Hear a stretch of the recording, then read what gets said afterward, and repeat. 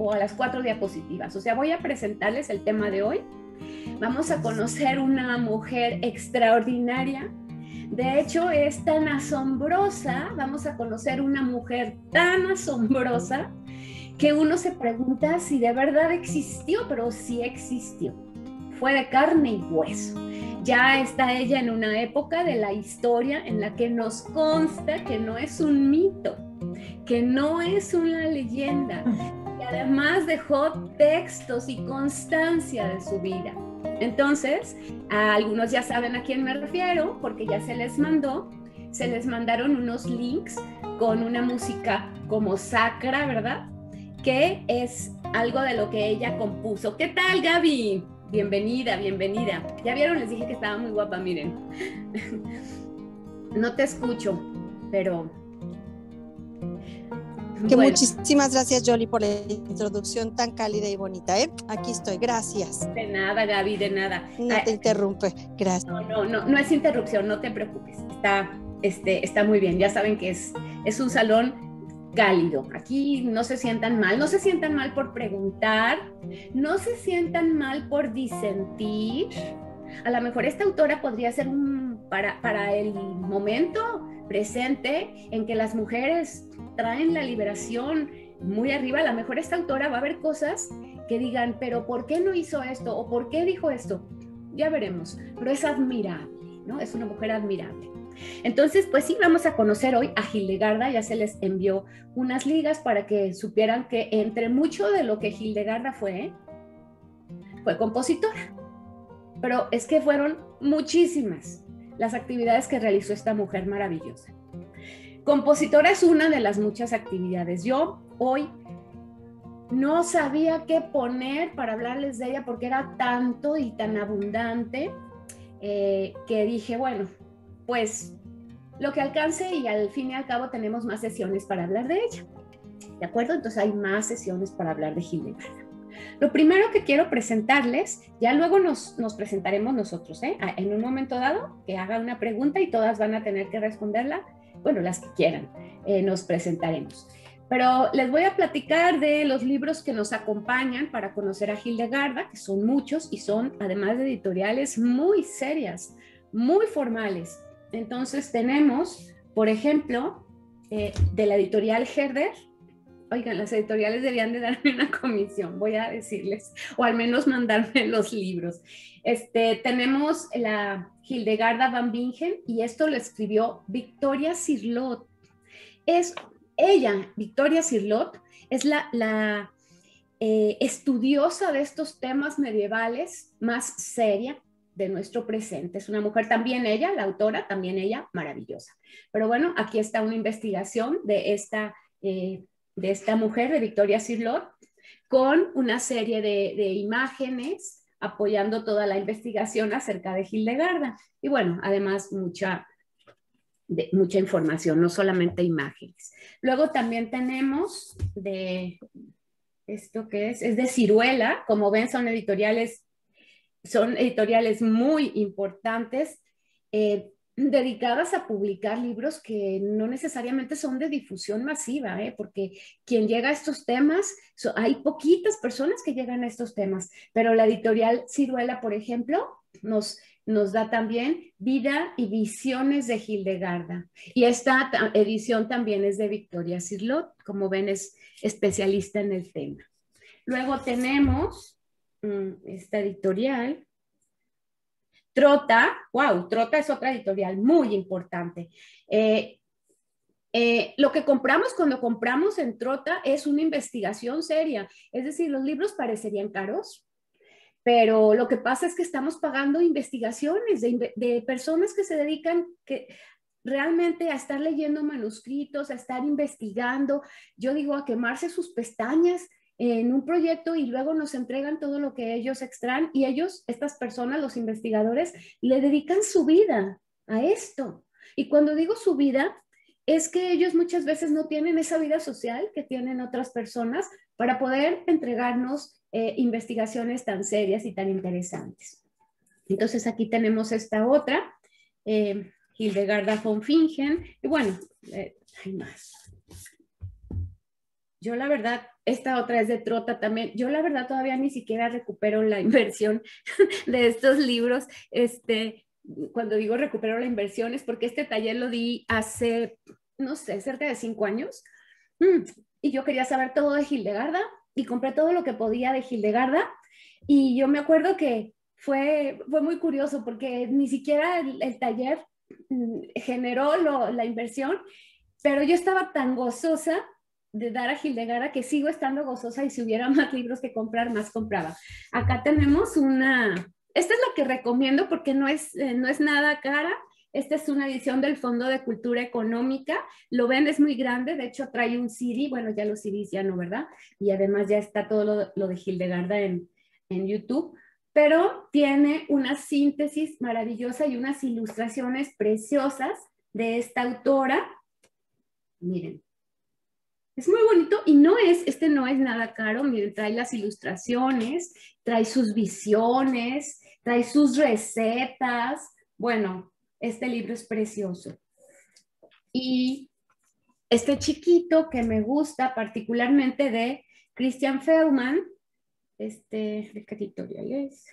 De editorial Herder, en donde es una trata de contar la vida de Hildegarda a la manera de una novela. Este, la diferencia que tiene este libro es que aquí parece, parece una novela, nos lo cuenta de manera que no parece una investigación, ¿sí?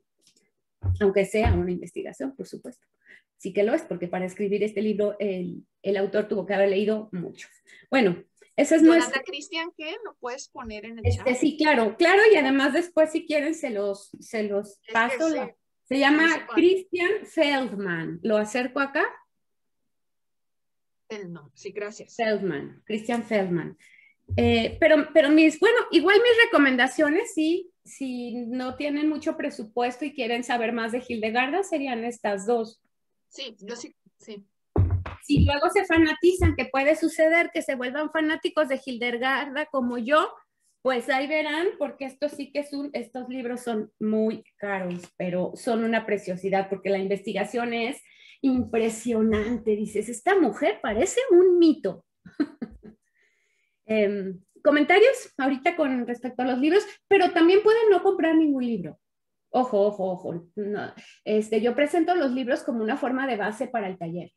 ¿Sí? Esta es la base para el taller para que sepan que lo que yo les cuento viene de investigación, no viene solamente de las páginas de internet, ¿sale?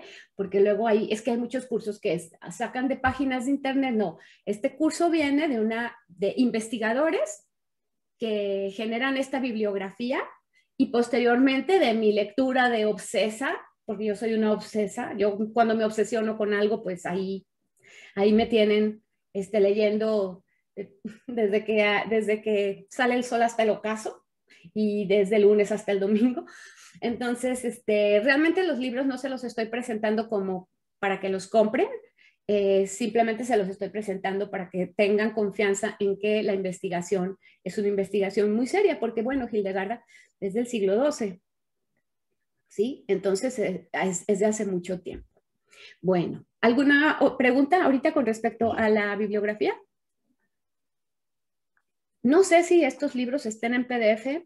Yo les recomiendo que, cuiden a las editoriales porque si el libro no está a la venta, pues se vale conseguir un PDF. Si el libro ya no se publica, se vale conseguir un PDF, ¿verdad? Si no tienes dinero y quieres saber, se vale conseguir un PDF.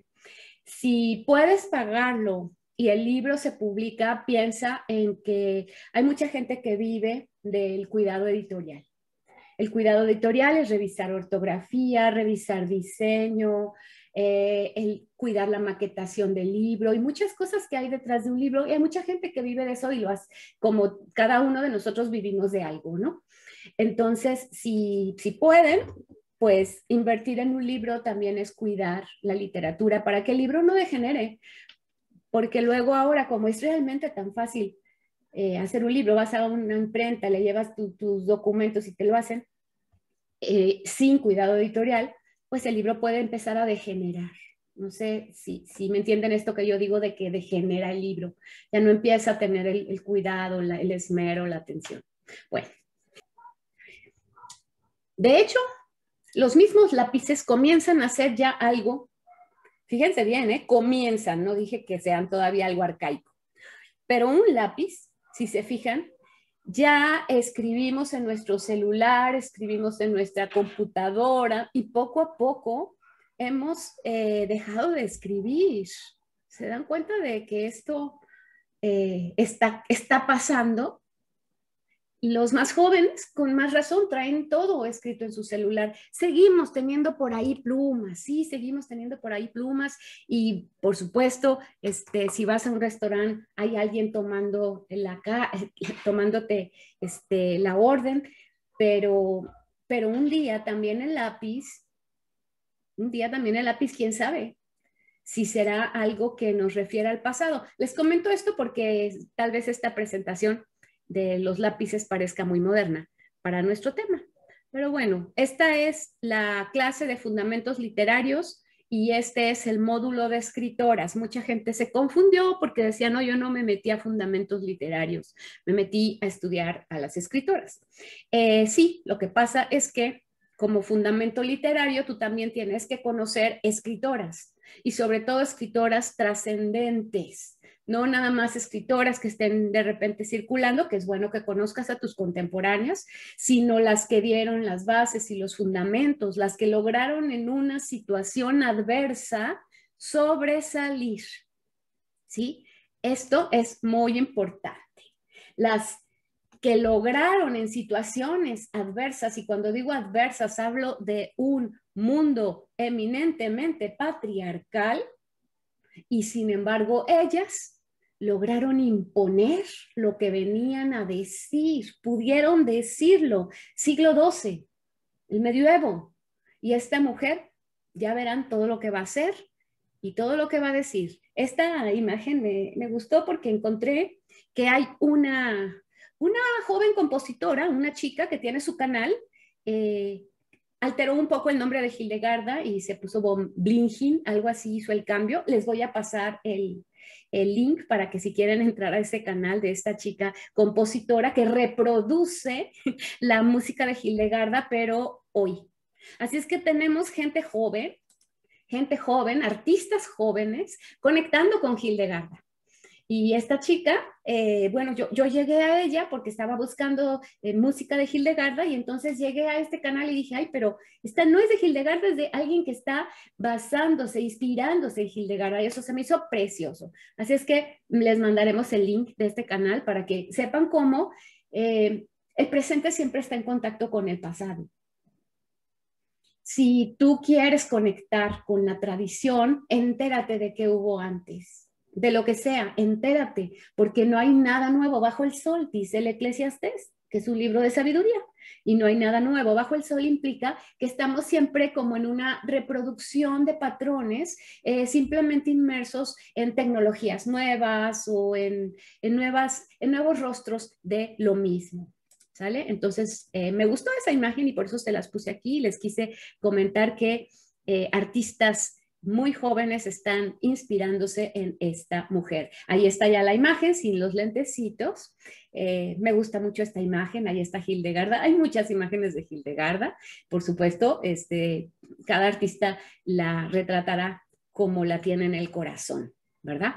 Hildegarda von Fingen, compositora, escritora, científica, naturalista doctora, polímata, abadesa, directora de un monasterio, mística, líder monacal y profetisa alemana. Profetiza. Bueno, hay muchas cosas más. Esta es una síntesis. Considerada una de las personalidades más influyentes, polifacéticas, y fascinantes de la Baja Edad Media y de la historia de Occidente. ¿Qué tal? ¿Qué nos espera con Hildegarda? ¿Quién la conoce? ¿Por qué nos llama la atención? O sea, realmente, ¿por qué? Podríamos decir, no, maestra, pues es que mire todo lo que es, ¿cómo no nos va a llamar la atención? No, maestra, pues es que fue muy importante. Bueno, creo que nos llama la atención, creo, porque pudo hacerlo siendo mujer, creo. Creo que esa es una de las eh, principales razones para que atendamos y que nos llame la atención que siendo mujer haya podido hacerlo. ¿Por qué? Porque sabemos de, pues, de la triste misoginia que se ha extendido a lo largo de la historia son pocos los hombres que se animan a admirar a una mujer y yo digo, los hombres que se animan a admirar a una mujer, para mí son admirables, porque están admirando la esencia, no la exterioridad, no el género, sino la esencia. Están permitiéndose ver ah, como ser humano a alguien que merezca su admiración. Entonces, los hubo, Hubo en la época de Hildegarda hombres capaces de admirarla y de permitirse, permitirse consejos de Hildegarda, ¿sí? Eh, críticas de Hildegarda. Y no solo eso, fueron también luego hombres importantes, los que permitieron algunas de, algunos de los regaños de Hildegarda. Entonces, creo que eso es lo que nos asombra, Creo que ese es el asombro, porque bueno, es un hecho que hemos padecido a lo largo de la historia, eh, una, pues, un silenciamiento de las voces femeninas, ¿sale? Entonces, pues ese es un hecho y triste, pero es un hecho.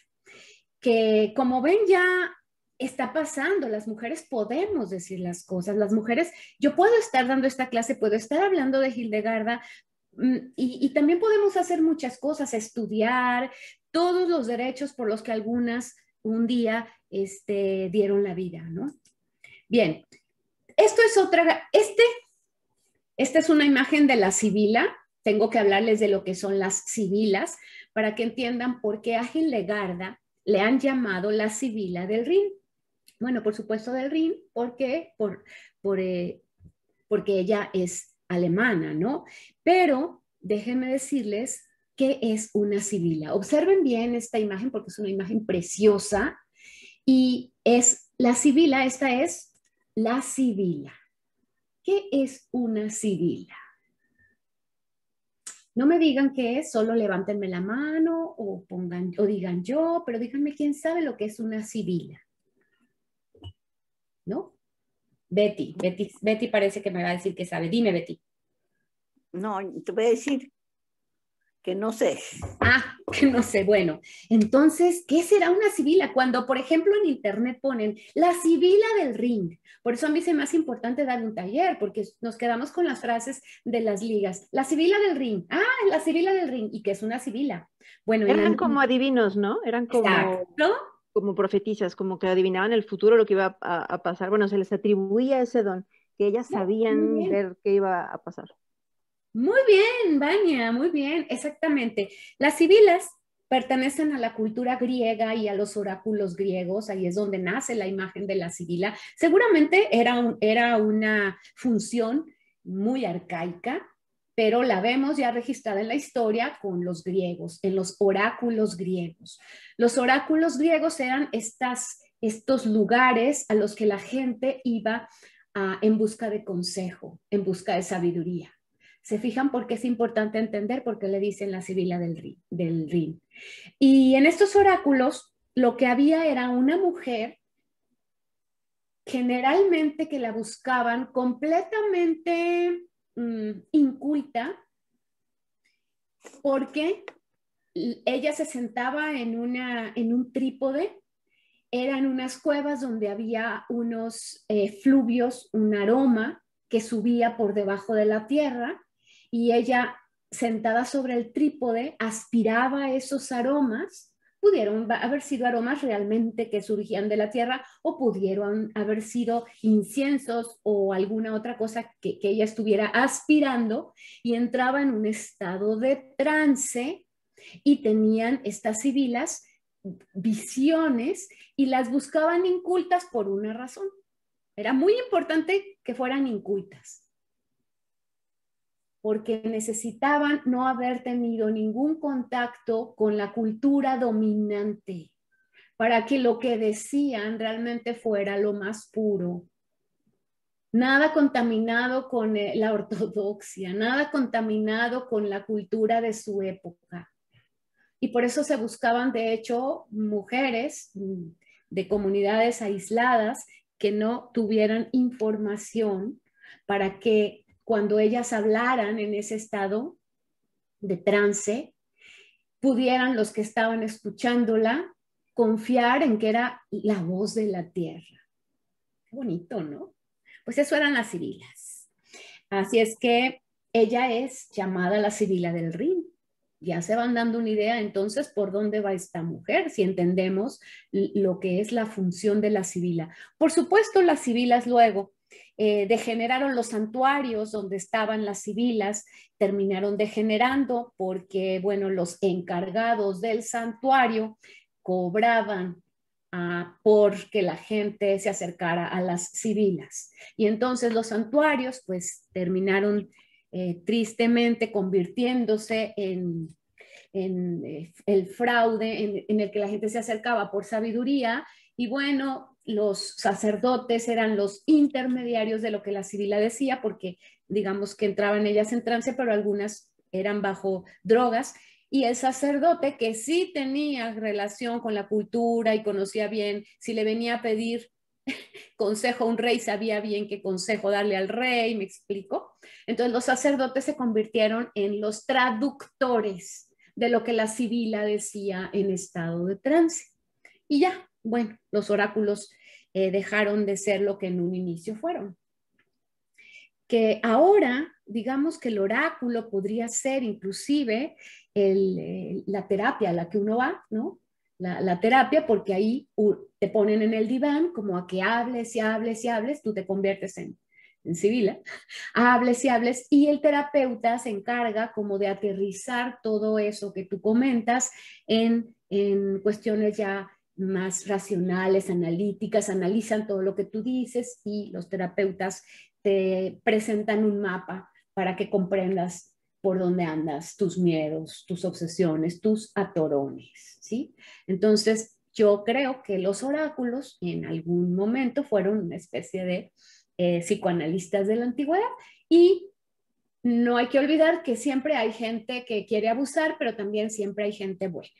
Eso nunca lo olvidemos, nunca consideremos que las épocas son, en esta época es toda mala. Nunca consideremos tampoco que cuando hablamos de, por ejemplo, los sacerdotes de los oráculos, eran todos eh, manipuladores. De seguro había algunos sacerdotes que deseaban hacer el bien, y de seguro había otros que deseaban llenar su bolsillo y sus arcas. Entonces hay que entender que siempre hay de todo, ¿sale? Y no quedarnos con la idea de que todo está mal o todo está bien. Bien, ya vieron entonces nada más con esta frase de la sibila del Rin todo lo que nos da para conocer a Hildegarda. ¿Ya vieron todo lo que nos da? Bueno, si alguna cosa no queda clara, me preguntan, ¿sale? Por favor, me interrumpen y me preguntan. Vamos a, los tiempos de Hildegarda. Hildegarda nació en 1098, ¿sale? O sea, dense cuenta que estamos, de Hildegarda son pues, 900 años, casi mil, ¿no? Hildegarda nació en 1098 en Bermesheim cerca de Maguncia, Alemania. Fue la última de los diez hijos de un matrimonio de la nobleza local. De manera que eh, lo del diezmo no tenía que ver con que no tuvieran dinero, sino que lo del diezmo era una práctica religiosa para los para los nobles en los que entregaban, así como el diezmo es, pues entregas el 10% de tus ganancias a, la iglesia o en, algunas eh, congregaciones así es, el 10%, que ahora eh, se le llama limosna, que se me hace muy feo decir limosna, es una palabra fea, la palabra limosna es fea, a mí no me gusta pues. Eh, diezmo es como, bueno, yo gano tanto y este porcentaje yo lo entrego para que con él haya obras de caridad y en este caso el diezmo que era un hijo, entregar un hijo, era porque estaban entregando a Hildegarda para que ella entrara a una orden y se dedicara a servir a Dios. Eso fue, eso era básicamente lo que era entregarla como diezmo, ya sé. Y eh, era una práctica común, no criticada en la época. Por supuesto que ahora nosotros sí, ¿verdad? Porque si dices, tú que eres mi hijo más chiquito, déjame te entrego como diezmo, pues sonaría muy feo. Por eso hay que comprender que, que cada sociedad ha tenido sus costumbres. ¿Quién sabe qué costumbres que tengamos nosotros hoy en mil años puedan ser súper criticadas? ¿Eh? No Eso te quería decir, Yoli. Este, eh, bueno, en Guadalajara por mucho tiempo se usó, y no sé si lo sabían, pues, pero en las familias un hijo tenía que ser sacerdote. Y escogían, y no te estoy hablando de hace 900 años, estoy hablando del siglo pasado, ¿no? Principios del siglo pasado. Y de un hijo hombre tenía que ser sacerdote y chiquitos, ahí va al seminario. O sea, era una costumbre que no todo el mundo hacía, pero que era muy común. Además de que, digo, pésimamente, porque yo creo que eso está pésimo, pero así era, o sea, así se estilaba. Y además, este, creo que, que en Alemania todavía hasta la fecha, digo, es cultural. el tipo del diezmo que da uno a bueno, la iglesia que te pide, ahí si tú eres católico, está todo tan reglamentario, son como una cultura muy cuadrada y muy organizada, no es como nosotros, ¿no? Que vas y das pues, si quieres y si no, no das y así como cada quien. Allá te inscribes como en la parroquia y entonces este, te registras y, de tu sueldo, así como te rebajan el impuesto del IMSS y del Fonacot y del, te rebajan, así si eres católico, te registras en tu parroquia y, y te rebajan tu 10% para la iglesia, automático.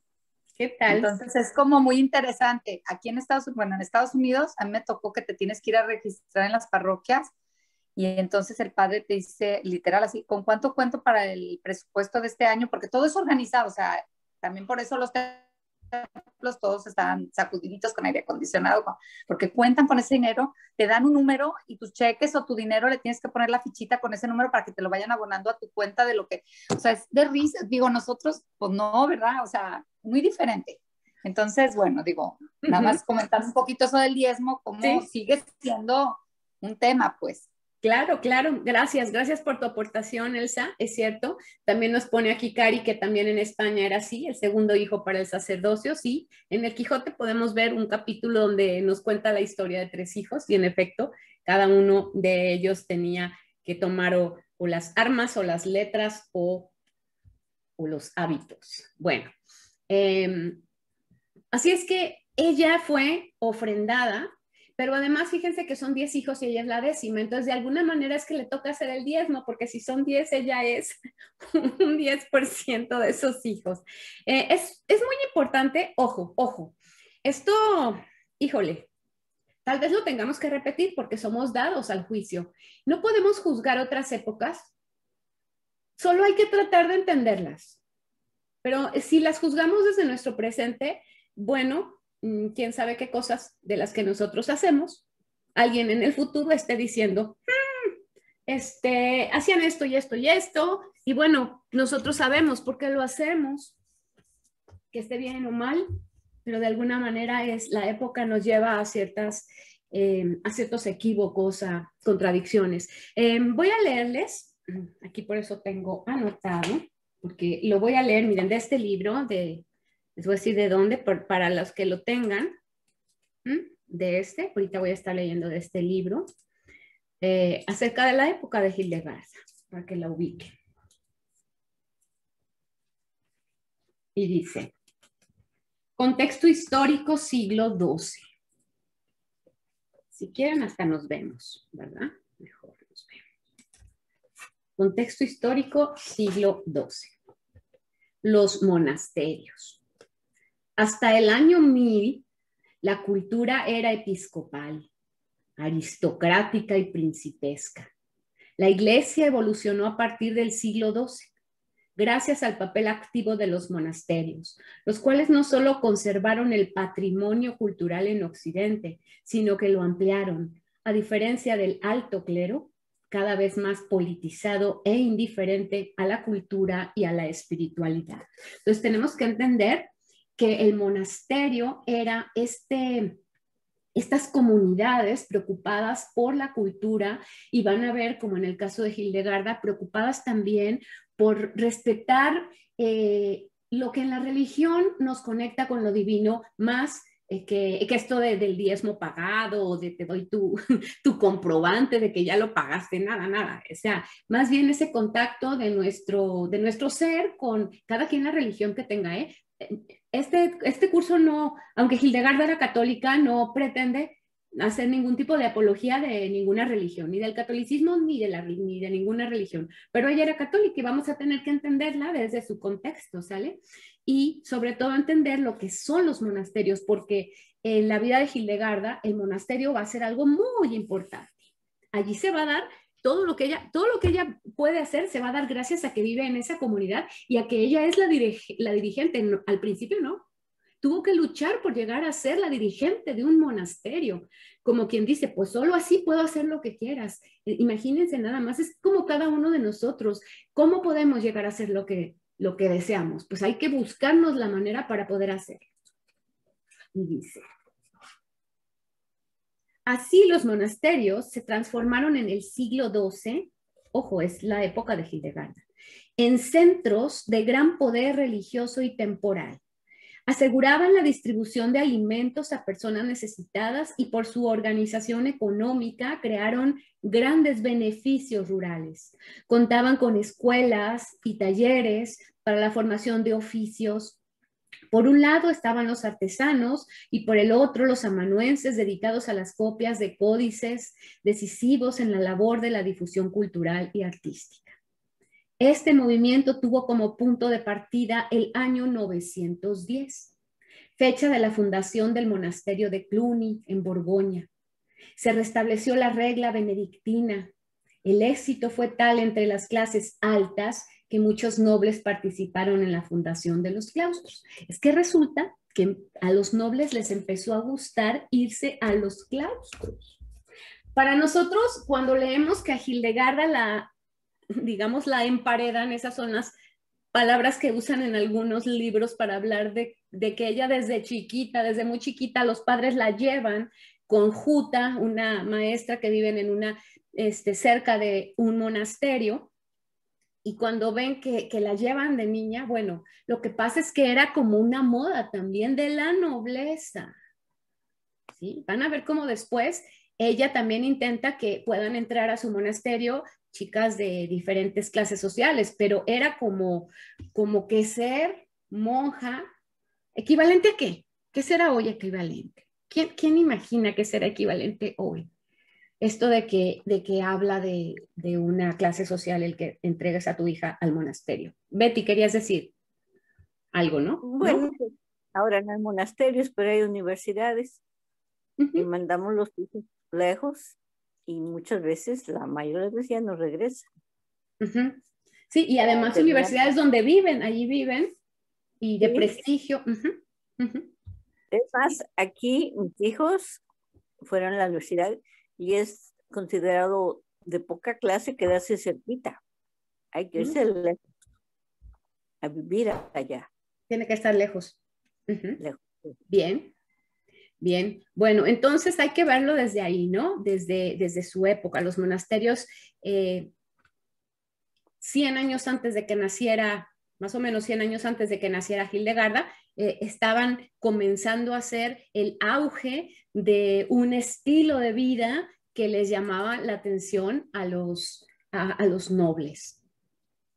Bien, pero ¿por qué creen que les llamaban la atención a los nobles? No crean que nada más la dieron de diezmo, es que no era solamente darla de diezmo. Es que aparte tenían que dar una dote. Cuando, cuando la chica llegaba al monasterio, ella llegaba al monasterio con dinero para el monasterio, o, o sea, tenían que aportar para la manutención, ¿sí? o propiedades. Entonces, por eso es que al principio era solo de los nobles, porque los nobles podían aportar. Y cuando ya llegaba alguien a un monasterio, ya fuese una monja o un monje, estaban llegando con todas sus posesiones. Y esas posesiones, aunque ahí ellos, algunos hicieran voto de pobreza, pues ellos a lo mejor hacían voto de pobreza, pero el monasterio empezaba a acumular todas las riquezas. ¿Sí? Bueno, muy interesante. A ver, a los seis años, Hildegarda comenzó, fíjense, a los seis años, imagínense a alguien, de, una niña de seis años, alguien seguramente tiene cerca una niña o ustedes imagínense de seis años. Los seis años es cuando entran a primaria. A los seis años, Hildegarda comenzó a tener visiones que siguieron durante el resto de su vida. Cuando la niña contaba ocho años, la entregaron para su formación a Juta. Juta era eh, también de una familia noble y la entregaron a Juta.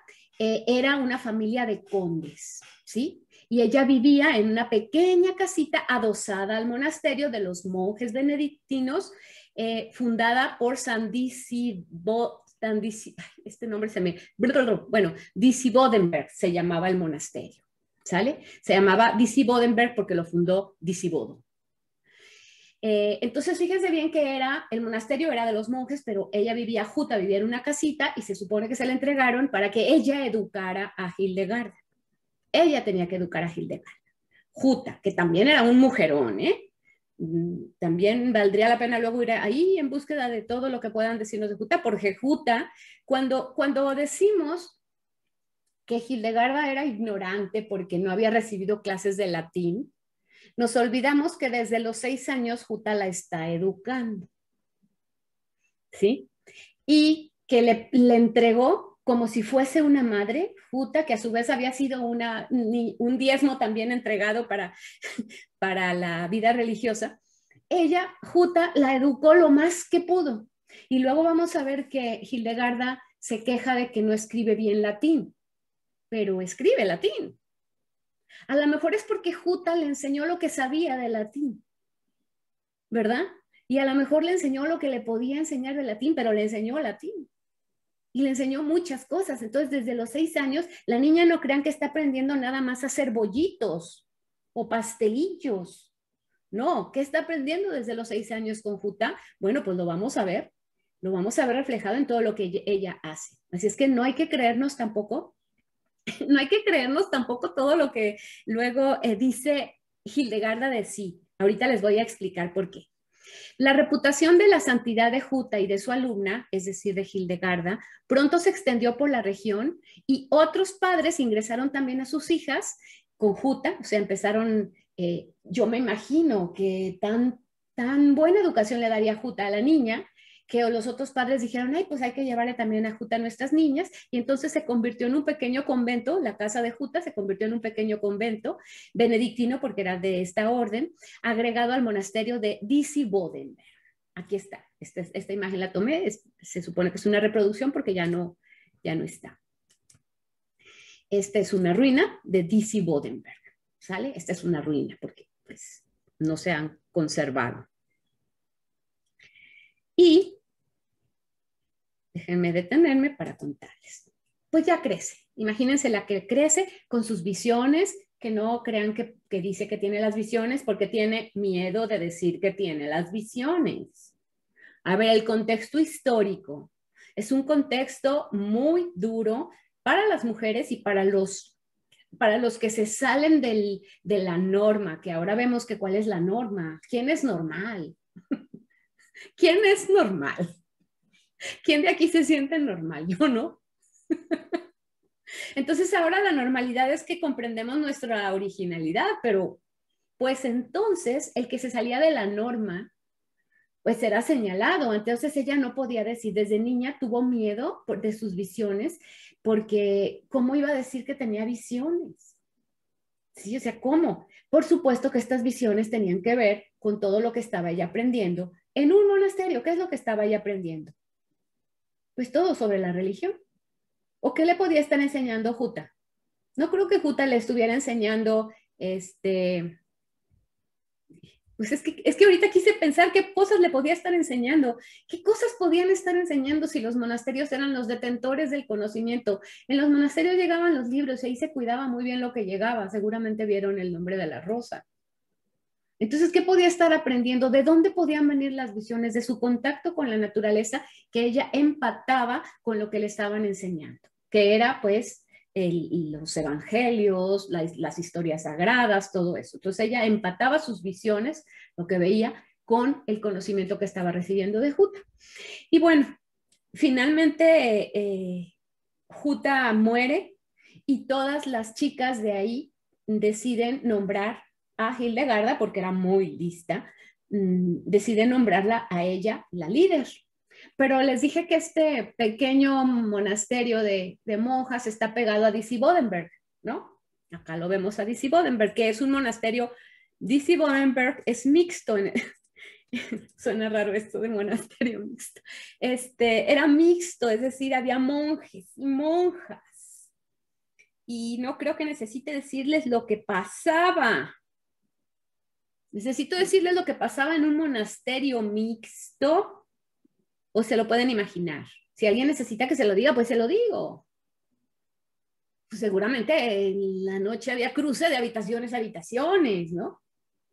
Que a mí me parece como súper, hasta súper normal. Bien, entonces, pero algunas veces, bueno, algunas veces era por gusto de, de ellos, pero otras veces Hildegarda sentía que que muchas de sus chicas no necesariamente deseaban esa invasión. O sea, algunas monjas no deseaban la invasión masculina en sus vidas. Recuerden que, que había mucha brutalidad, ¿no? En las relaciones. Entonces, muchas veces las mujeres, no todas deseaban, no todas deseaban esa brutalidad, otras sí.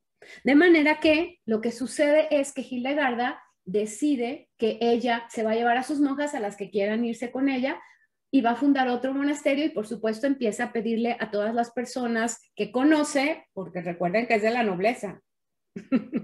Entonces ella pues pide y dice, voy a fundar otro monasterio y ahí me voy a llevar a mis monjas y a las monjas que quieran irse conmigo pues vamos a tener, yo le llamo una habitación propia. Ya sabemos que Virginia Woolf Así nombra su libro, Una habitación propia, en donde explica que la mujer para desarrollarse plenamente necesita contar con una habitación propia. Y esto quiere decir que la mujer, una habitación propia y bueno, además sus propios ingresos para que ella pueda hacer lo que quiera. ¿Sí? Porque si ella necesita que le paguen, pues de repente está supeditada a, a que, pues si le dicen que no, pues no puede hacer todo lo que quiere. Y una habitación propia también para aislarse. Entonces, Hildegarda vivió en DC, Bodenberg, mientras este fue un monasterio dúplice, hasta la construcción por ella del monasterio de Rupertsberg. Ese es, eh, ese es el otro monasterio. Aquí les puse un mapa, ¿sí? Ahí está el Rin, por eso se llama ella la Sibila del Rin. Ahí está Bingen, por eso se llama Hildegarda von Fingen que quiere decir Hildegarda de Bingen. Y acá está, aquí tenemos Rupertsberg, fundado por Ruperto, ¿no? por un Ruperto, entonces por eso se llama Rupertsberg. El monasterio de Rupertsberg, cuando digo fundado por Ruperto, pero refundado por ella porque estaba en ruinas, ¿sí? Y ella decidió ir ahí. Eh, y eran, eran como ruinas y ella entonces creo que hay una película, vale la pena verla, la voy a buscar para pasárselas, porque las monjas con pala, con pico, las que se quisieron ir con ella, le entraron a la construcción, le entraron a sudar, le entraron a todo, ¿sí? No las querían dejar ir, no crean que fue tan fácil, algo así como me voy. No, hombre, les costó muchísimo trabajo poderse ir. ¿Por qué? Porque al irse se llevaban, ¿qué? Todos los ingresos, ajá, de todas las chicas ricas, las chicas de la nobleza. Entonces, si se iban a ese otro monasterio donde ahora Hildegarda era la abadesa, pues ¿qué iba a pasar? Que todo eso se los quitaban a Dizzy Bodenberg. Entonces ya no era para el otro monasterio.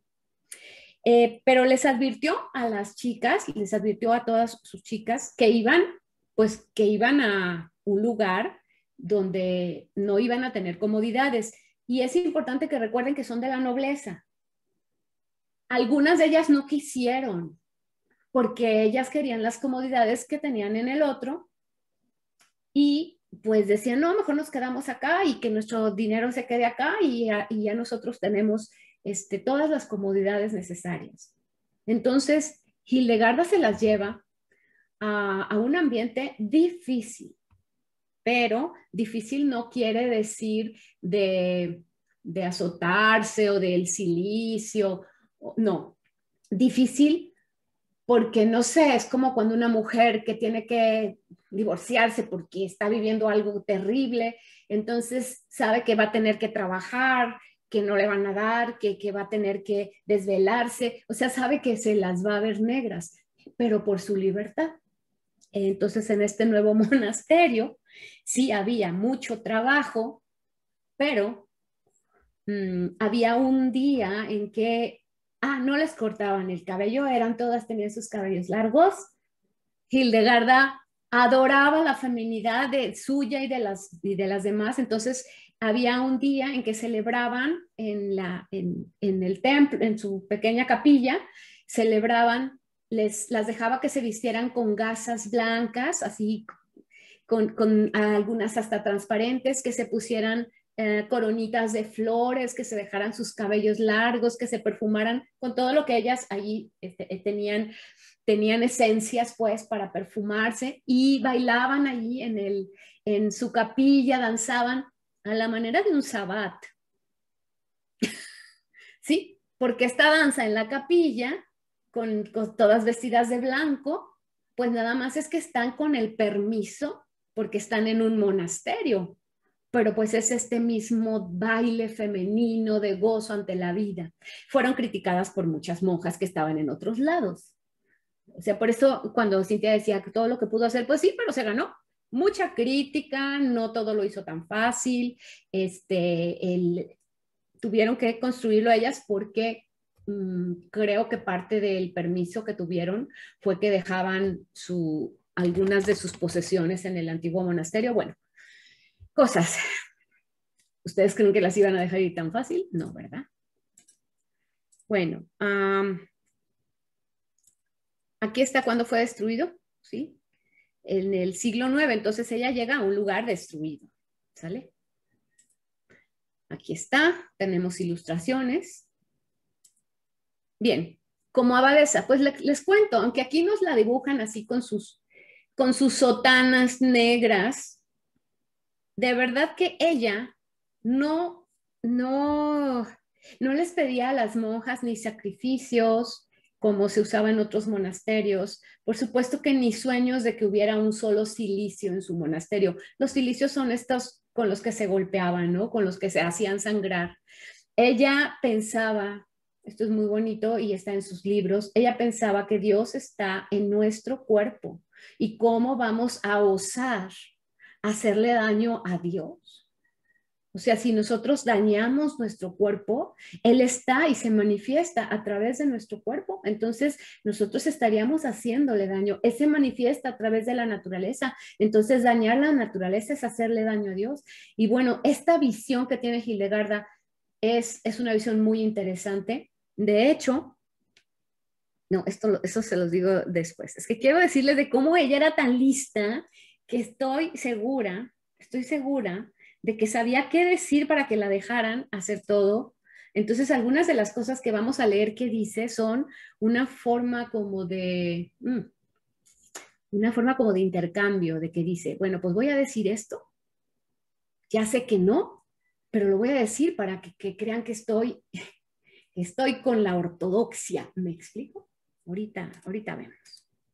Bien, fue amante de la naturaleza, y la conocía muy bien porque en el monasterio ella empezó a, tener las plantas medicinales y a estudiar las plantas medicinales y sus efectos, de manera que fue sanadora con las plantas. Y como decía muy bien Angeline, en el libro nos impresiona que muchas de las cosas que, que, comenta, que comentaba y que todavía no están ahora validadas por la ciencia, pues perdón, que todavía no estaban validadas por la ciencia y que ella ya las estaba entendiendo eh, y compartiendo así, ahora la ciencia nos explica por qué, o sea que sabía muchas cosas de manera intuitiva.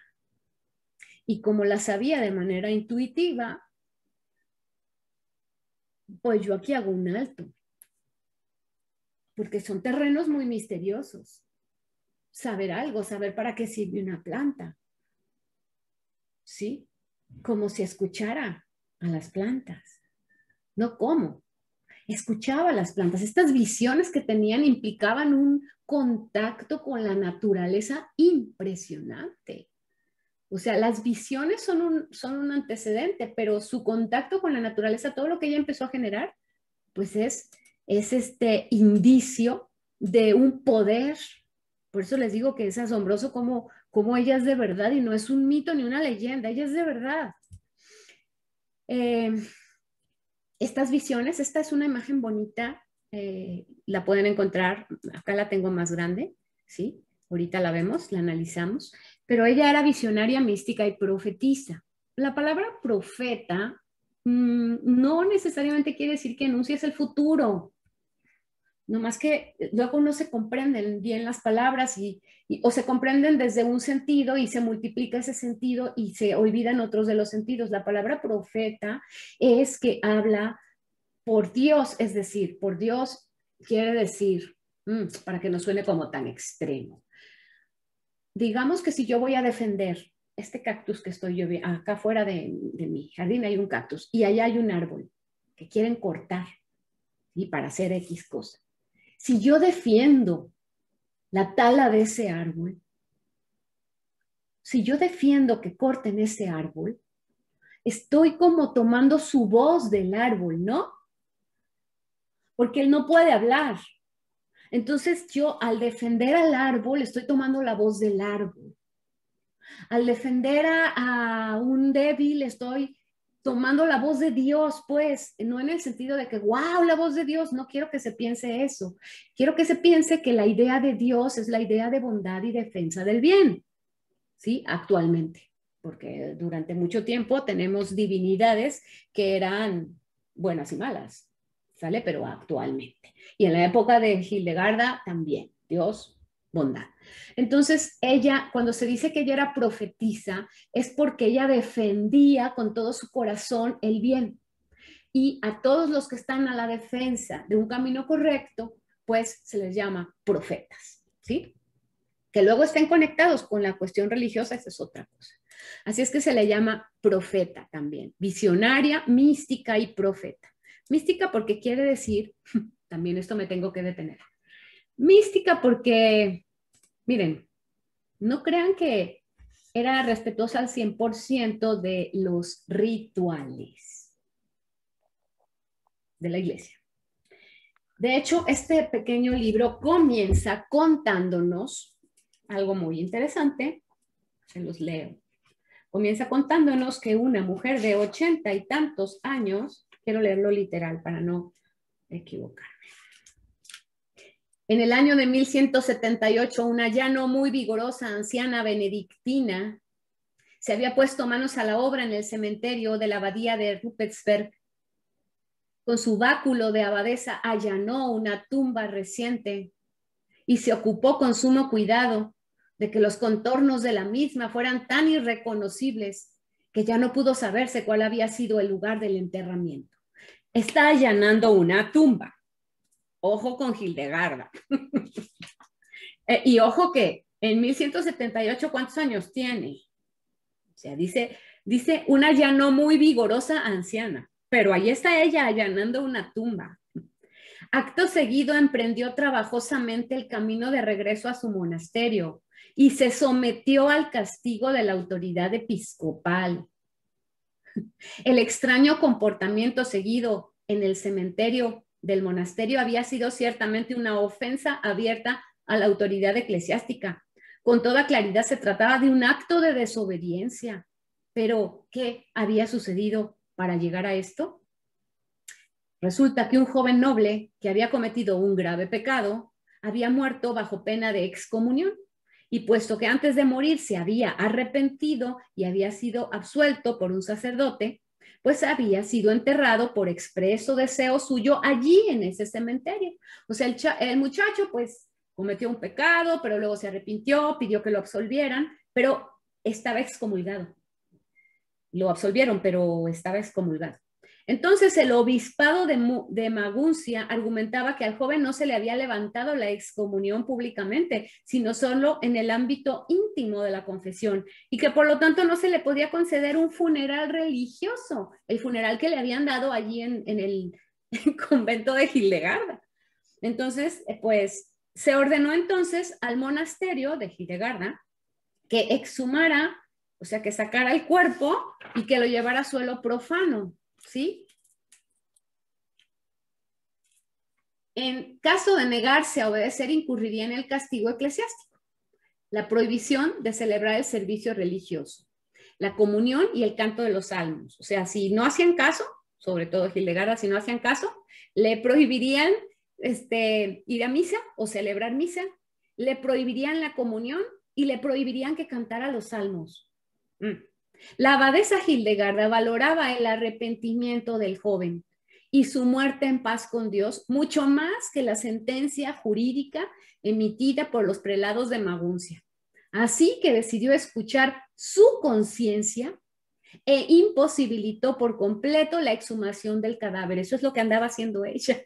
O sea que fue y como que lo escondió, ¿no? Dijo, a ver, van a saber que aquí está, porque ahí estaba la tumba. Bueno, pues vamos a hacer movedero y que no sepan dónde está, pero de aquí no lo sacamos. Y por supuesto que la dejaron sin misa mucho tiempo. ¿Quieren saber el final de la historia? Ah, dice, ay,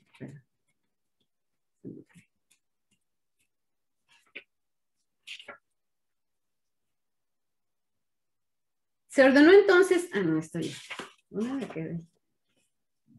Un comportamiento inaudito para una anciana abadesa de 80 años en el siglo XII. Como inaudito fue ciertamente todo cuanto Hildegarda escribió e hizo.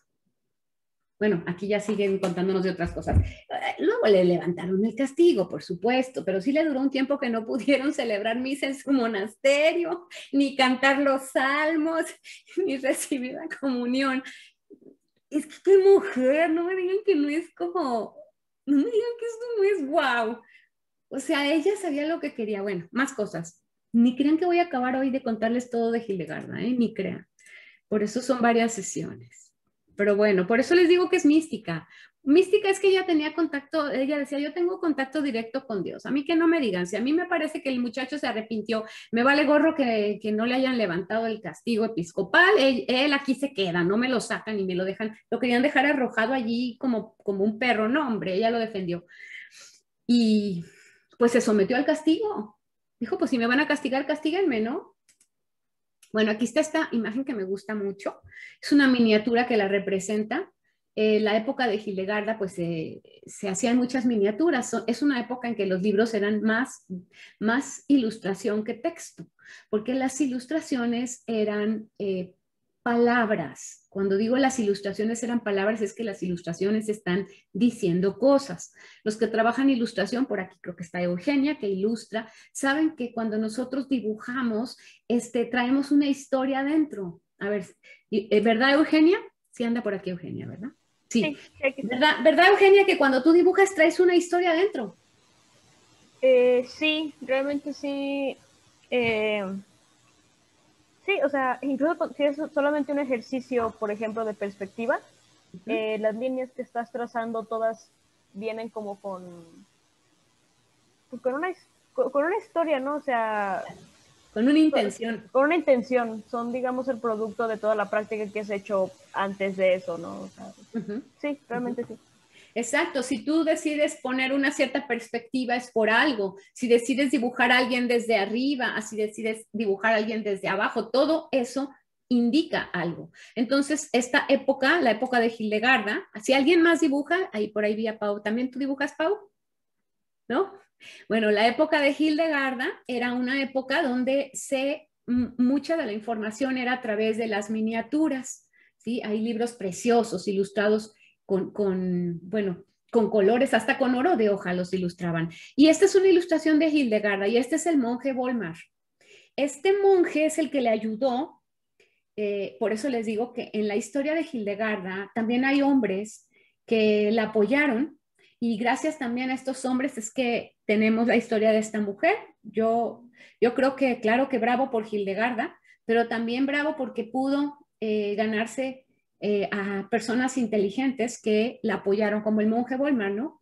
Aquí está ella recibiendo la, la inspiración, estas llamas que vienen desde lo alto, y él le está enseñando cómo lo, o sea, él está, mm, digamos, corrigiendo su latín, es lo que él está haciendo, porque ella, ella estaba escribiendo, pero la miniatura me gusta porque cuando nos dicen que el que escribiera Volmar, entonces no checa por qué están poniendo que ella escribe y Volmar está ahí viéndola y aconsejándola. Es porque ella escribe, lo que pasa es que a lo mejor necesita corrección ortográfica, como cuando ustedes entran al taller de escritura, yo les digo, a ver, hay que poner un punto aquí, es su texto de ustedes, ¿no? Ya saben que tenemos otros talleres y hay, hay talleres donde traen sus textos, es el texto de ustedes. Yo les digo, bueno, conviene que esto lo quites, conviene que esta palabra la cambies, pero es tu texto. Entonces, de alguna manera, eh, estamos ante, al, ante un monje que le aconseja porque él sí había tenido estudios de latín eh, y podía esto ayudarla, ¿no? El hecho de que él le estuviera aconsejando. Bueno, cuando decimos visionaria, es decir, que tenía visiones, em, puede causar algo de extrañeza. A ver, ¿cómo que visiones, maestra? Es más, si yo ahorita les pregunto quién de ustedes tiene visiones, pues no sé, a lo mejor sí, ¿eh? a lo mejor sí, no me digan, no me digan, pero a lo mejor sí hay en aquí en el, salón alguien que me diga, sí, yo tengo visiones o yo he tenido, o bueno. El punto es que en la actualidad decir que tenemos visiones, pues causa extrañeza. Tal vez sea porque muchos se lo callan, tal vez sea porque no se haya estudiado esto, este, no lo sé, tal vez sea porque hay miedo de que perdamos el control, pero debe tenerse en cuenta que tal y como señala esta autora, Margaret Alick, en un libro eh, donde habla de el legado de Hipatia, el legado de Hipatia implica todas estas mujeres que como Hipatia, que es otra señorona, Hipatia, está, seguro la conocen y si no también hay que ir por ella. Eh, ahí esta autora, Margaret Alick, dice, el afirmar que uno tenía visiones era cosa frecuente en el siglo XII y siguió siendo un recurso literario durante siglos. Esto hay que entenderlo, ¿sale? A ver, o sea que era frecuente que dijeras que tenías visiones. Quiere decir que no vamos a poder entender a Hildegarda con nuestra visión de hoy cuando no es frecuente que digas que tienes visiones. ¿Alguien aquí se anima a decir que tiene visiones? Si las tiene, si las tiene, se lo guarda. Porque dice, ¿cómo? Y aparte la maestra está grabando, porque se los advierto que si dicen estoy grabando. ¿No? Ahora, eh, Hildegarda nos cuenta que las visiones no las ve con sus ojos del cuerpo, ni las escucha con sus oídos del cuerpo. Entonces, ¿de qué está hablando? Es el terreno de la imaginación en contacto con la inspiración. Lo que sí se van a animar a decirme aquí muchos es, a ver, ¿alguno de ustedes se ha sentido inspirado? A ver cuántos de aquí me levantan la mano, porque yo soy la primera. Yo sí muchas veces me he sentido inspirada. Aquí está Antonio, aquí está Angelín, ahí está Elsa, y les aseguro que todos se han sentido inspirados. Miren, todos, las manitas levantadas, todos, ¿verdad? Todos se han sentido inspirados. ¿O quién? ¿O alguien no? Es raro todos, porque nos hemos sentido inspirados para un negocio, nos hemos sentido inspirados para, para un proyecto. O sea, hay muchas cosas en las que nos sentimos inspirados. Entonces, si entendemos a Hildegarda en su época, donde prácticamente todo el mundo podía decir que tenía visiones y era algo natural que inclusive las escribieras, pero si hoy nosotros tomamos visiones como inspiración, ¿verdad que la cosa cambia? Bueno, pues entonces tomémoslo así para poder entenderla. Bien. Afortunadamente, validaron sus visiones. ¿Quién? La ortodoxia. Cuando digo la ortodoxia, pues eran los mandamás en la iglesia católica. Y esto es lo que impacta. Por supuesto que validaban sus visiones porque había otros que tenían visiones y que ya habían sido validados. Entonces no podían decir, pues ah, si validamos las visiones de X, este monje, y hablaba de, Dios, ¿por qué no vamos a validar la de la monja? Entonces, por supuesto que el proceso de validación de sus visiones fue eh, difícil. Ahorita te, ahorita te doy la palabra, Cintia. O sea, la validación de sus visiones fue difícil. Déjenme decir que estoy dando clase. Mientras te oigo, nada más voy a decir te oigo, Cintia. Sí. Estoy dando clase. Estoy dando clase. Es que si no les digo, luego siguen tocando. No, es que esta cuestión de tener visiones, eh, a mí me viene más la palabra intuición elevada que, que inspiración. Porque inspiración yo la asocio más con arte, pero la intuición de Dios, eh, pues es intuición. Con los ojos de los, del cuerpo, ¿verdad? Sí, puede ser, puede ser entonces eh, intuición, inspiración, que para mí son, bueno, muy parecidas. Ajá, parecía, sí. Inspiración. Si oyen unos ruidos es que mis perros están encerrados y el timbre los inquietó. Espero que se tranquilicen. Hoy nada más, bueno. Y no quiero pegarles gritito porque queda grabado. Entonces la maestra toda dulce y con esos gritos a los perros. Bueno, eh, vamos a ver Fíjense bien, padre, estoy profundamente perturbada por una visión que se me ha aparecido por medio de una revelación divina y que no he visto con mis ojos carnales, sino solamente en mi espíritu. Desdichada y aún más desdichada en mi condición mujeril, ahorita analizamos esto. Desde mi infancia he visto grandes maravillas que mi lengua no puede expresar, pero que el Espíritu de Dios me ha enseñado que debo creer. Y sigue la carta, pero son estos fragmentitos los que traigo. Por medio de esta visión que tocó mi corazón y mi alma, como una llama quemante, me fueron mostradas cosas profundísimas. Sin embargo, no recibí estas enseñanzas en alemán, en el cual nunca he tenido instrucción. O sea, aparte le dice, pues ni siquiera las recibo en, en, la lengua conocida, ¿no? Sé leer en el nivel más elemental, pero no comprenderlo plenamente. Por favor, dame tu opinión sobre estas cosas, porque soy ignorante y sin experiencia en las cosas materiales y solamente me ha instruido interiormente en mi espíritu. De ahí mi habla vacilante. No sé si alcanzaron. A ver, esto hay que analizarlo con mucha inteligencia.